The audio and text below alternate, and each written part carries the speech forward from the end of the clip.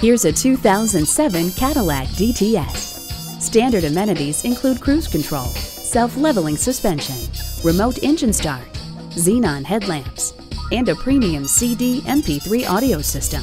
Awesome, breathtaking, sensational.